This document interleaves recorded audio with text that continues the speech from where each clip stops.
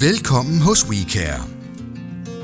WeCare er kommunernes eksterne samarbejdspartner.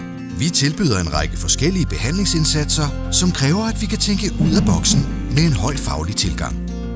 WeCare er anerkendt i det socialfaglige miljø for at lave støttekontaktopgaver, familiebehandling, aflastningsopgaver og misbrugsbehandling med mere. Det handler om individuel behandling, at føle sig set og hørt. Og netop derfor tager vi altid udgangspunkt i det enkelte menneske eller families liv. Vi er nytænkende på sociale problemstillinger og har et tæt samarbejde med Socialstyrelsen om evidensbaseret viden og metoder, der sikrer, at vi kan hjælpe vores borgere bedst muligt. Men vigtigst af alt, skabe positiv forandring. WeCare følger alle vores opgaver helt til dørs og leverer altid en professionel og præcis dokumentation. Tilgængelighed og fleksibilitet er nøgleord, og derfor er vi til rådighed 24-7 året rundt. We care. Do you?